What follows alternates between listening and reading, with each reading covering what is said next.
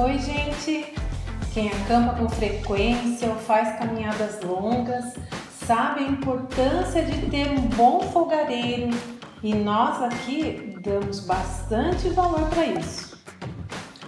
A gente possui três diferentes tipos de folgareiro e aquele que a gente escolhe para levar nas nossas viagens vai depender do tipo de aventura que a gente vai realizar e por quanto tempo essa aventura vai durar.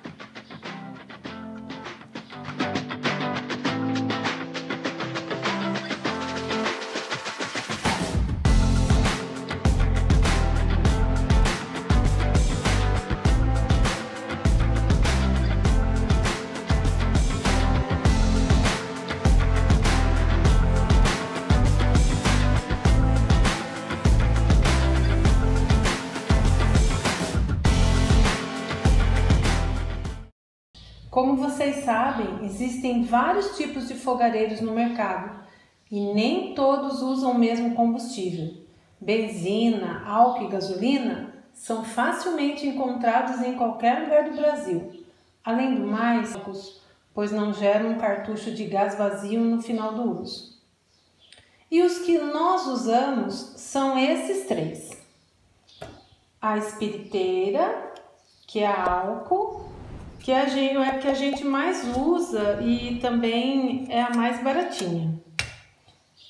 Esse fogareiro aqui, esse fogareiro da Crampontec, que é a gasolina e a benzina, que é mais complicadinho de usar, mas depois a gente fala mais detalhes sobre ele. E esse fogão ecológico aqui, que é bem bacana também.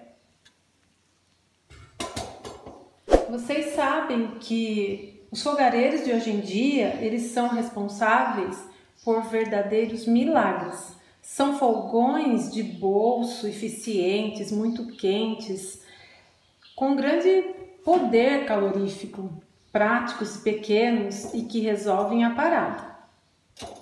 Então vamos lá. Vou apresentar para vocês cada fogareiro que nós temos. Ah, mas antes disso, aproveite e se inscreve aí no canal, deixa seu like, compartilhe esse vídeo que é bastante importante para incentivar que a gente faça mais vídeos como esse para você, ok? Primeiro vamos falar sobre a nossa espiriteira.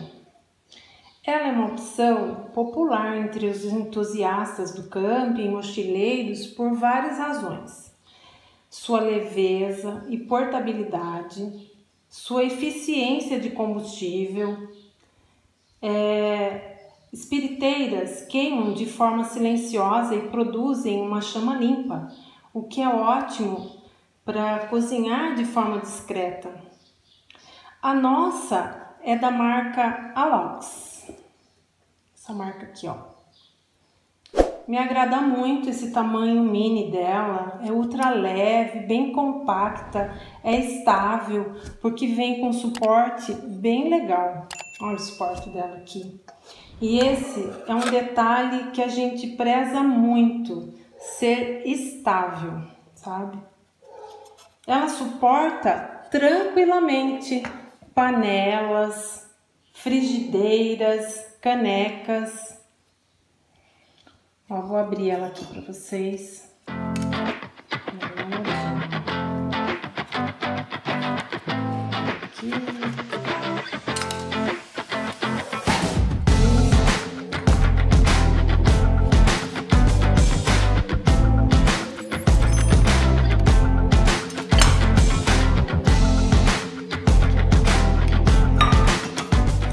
Aqui. Ó. Isso.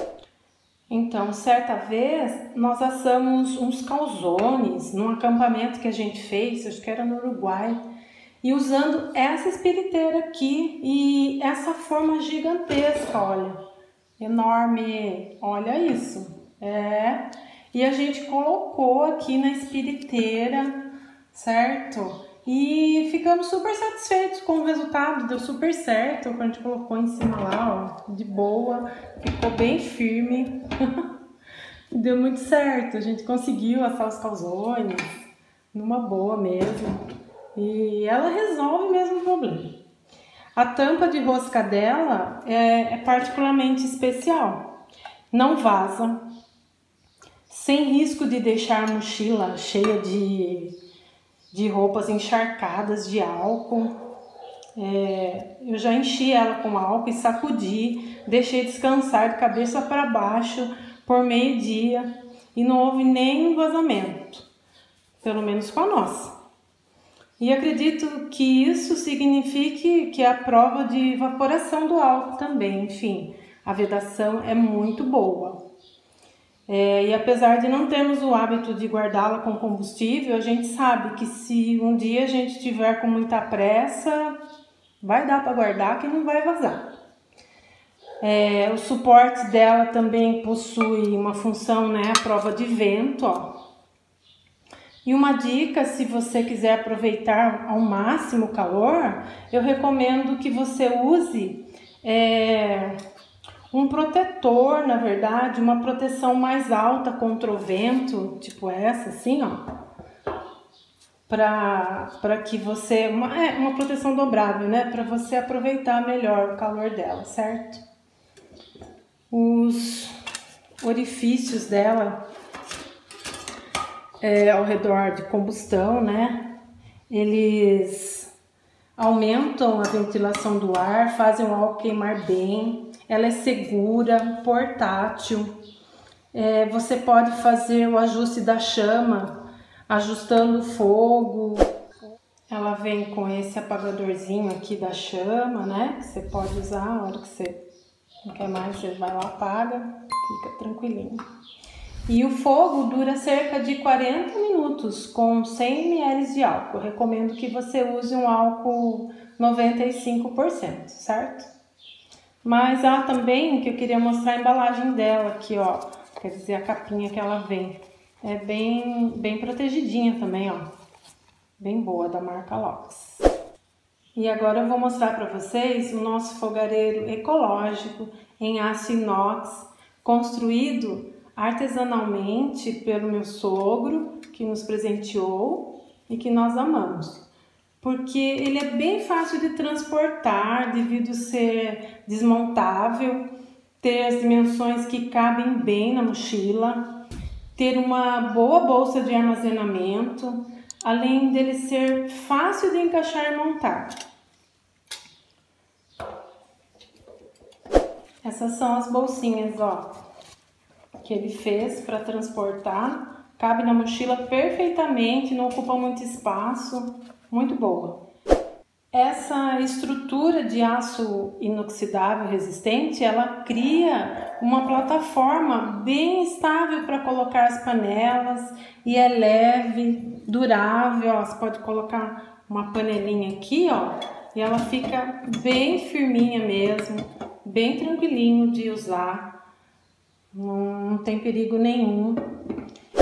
Esse suporte aqui cruzado, ele cria, na verdade, uma plataforma bem estável para qualquer tamanho de panela. E ele fez, inclusive, um outro suportinho, ó. Esse aqui é mais largo e esse aqui ele é um pouco mais estreito. Mas o que eu uso mais é esse daqui mesmo, que eu tô mostrando aqui para vocês que ele é fácil de encaixar, eu gosto bem dele.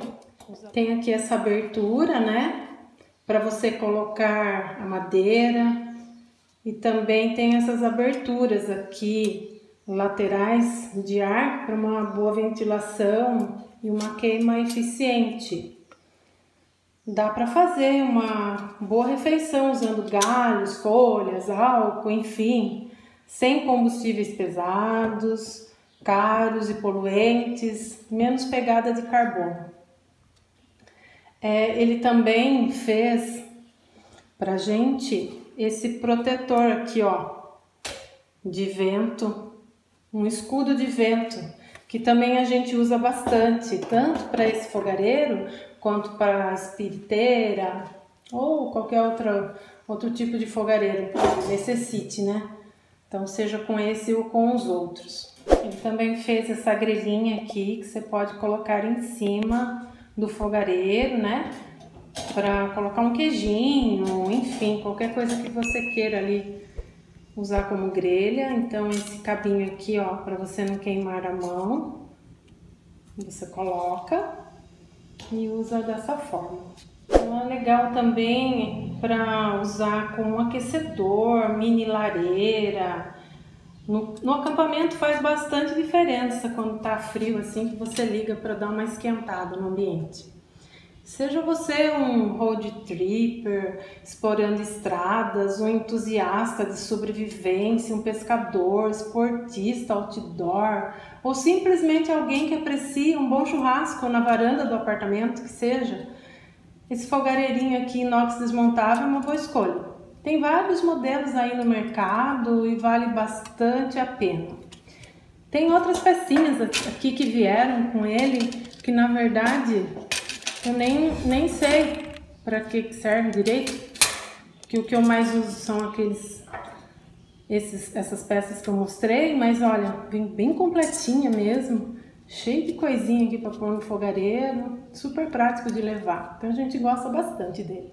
E agora o nosso terceiro fogareiro. Foi o primeiro que a gente comprou e na verdade a gente usou bem pouco. Como vocês podem ver, ele é maior, ele é mais pesadinho para transportar. Ele vem com essa caixinha aqui, essa caixona, na verdade. Ele vem com essa caixa aqui, que já é mais difícil de transportar, certo? Ele é multicombustível, né? Fala aqui que ele é a gasolina ou benzina. Só que o problema é a dificuldade de se comprar benzina hoje em dia e a gasolina nós não usamos por ter aditivos, então acaba sendo mais complicado de usar por nós, sabe? Mas ele tem uma chama assim super eficiente, muito boa a chama dele. Outra coisa, olha só, além de levar esse tamanho bem grandinho de fogareiro, você vai ter que comprar e levar uma garrafa dessa daqui, ó, que é própria para combustíveis. Deixa eu mostrar aqui melhor. A nossa é da marca MSR, de um litro. Ela é própria para combustível. Então é mais uma bagagem que você tem que levar. Esse fogareiro, ele tem esses braços de suporte serrilhados. Eles são dobráveis para colocar a panela. Então você coloca aqui a panela e boa. Eu fico um pouco insegura, na verdade, quando coloco a panela aqui, porque eu tenho receio que tombe, sabe? Que caia, porque ele é meio alto. Mas, opa, mas é, é legal, é um fogareiro muito bom. Outra coisa que eu acho meio chatinha nesse fogareiro é que ele é meio enjoado para acender, sabe? Então, quando você vai usar o fogareiro, você vai ter que abastecer aqui, né? Colocar o combustível aqui. Vai ter que abastecer o reservatório com 300 ml de combustível. Aí você vai ter que, ó, pressurizar aqui. Cadê? Opa, reservatório desse lado, perdão. Você vai abastecer por aqui, aí você vai pressurizar certo? Daí você vai ter que bombear umas 30 vezes. Depois que ele acende, daí você tem que bombear mais umas 30 vezes para pressurizar completamente o reservatório. E aí vou lá, daí sim, você pode regular a chama e como eu disse, ela é realmente bem forte.